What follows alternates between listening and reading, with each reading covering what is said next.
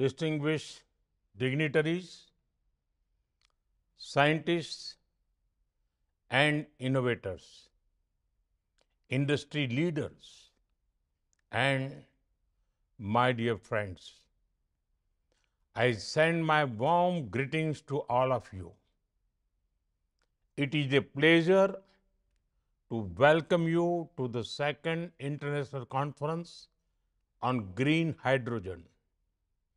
Friends, the world is going through a crucial transformation. There is a growing realization that climate change is not just a matter of the future. The impact of climate change is being felt here and now. The time for action is also here and now. Energy transition and sustainability have become central to global policy discourse. Friends, India is committed towards creating cleaner and greener planet. We were the first among G20 nations to fulfill our Paris commitments on green energy. These commitments were fulfilled nine years ahead of the target of 2030. India's installed non-fossil fuel capacity increased nearly 300% in the last 10 years. Our solar energy capacity increased over 3000% in the same period. But we are not resting on these achievements. We remain focused on strengthening existing solutions. We are also looking at new and innovative areas. This is where green hydrogen comes into the picture. Friends, green hydrogen is emerging as a promising addition to the world's energy landscape. It can help in decarbonizing industries that are difficult to electrify. Refineries, fertilizers, steel, heavy duty transportation, many such sectors will benefit. Green hydrogen can also act as a storage solution for surplus renewable energy. India has already launched the National Green Hydrogen Mission in 2023. We want to make India a global hub for the production, utilization, and export of green hydrogen. The National Green Hydrogen Mission is giving an impetus to innovation, infrastructure, industry, and investment. We are investing in cutting edge research and development. Partnerships between industry and academia are being formed. Startups and entrepreneurs who are working in this domain are being encouraged.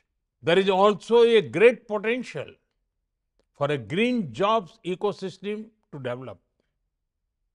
To enable this, we are also working on skill development for our youth in this sector. Friends, climate change and energy transition are global concerns. Our answers also need to be global in nature. International partnership is critical for promoting green hydrogen impact on decarbonization. Scaling up production, minimizing costs, and building infrastructure can happen faster through cooperation. We also need to jointly invest in research and innovation to push technology further. In September 2023, the G20 summit happened in India. In this summit, there was a special focus on green hydrogen. The new Delhi G20 Leaders Declaration adopted five high level voluntary principles on hydrogen. These principles are helping us in the creation of unified roadmap. All of us must remember the decisions we make now will decide the life of our future generations. Friends, in such a crucial sector, it is important for domain experts to lead the way and work together.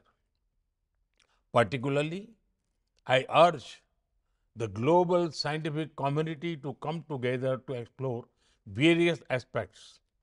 Scientists and innovators can suggest changes in public policy to help the green hydrogen sector.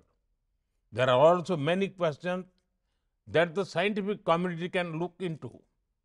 Can we improve the efficiency of electrolyzers and other components in green hydrogen production? Can we explore the use of seawater and municipal wastewater for production? How can we enable the use of green hydrogen in public transport, shipping, and inland waterways? Exploring such topics together will greatly help green energy transition across the world. I am confident that this conference will help the exchange of many ideas on such issues. Friends, humanity has faced many challenges in the past. Each time, we overcame adversities through solutions that were collective and innovative. In the same spirit of the collective and innovative action that will guide us towards a sustainable future. We can achieve anything when we are together. Let us work to accelerate the development and deployment of green hydrogen.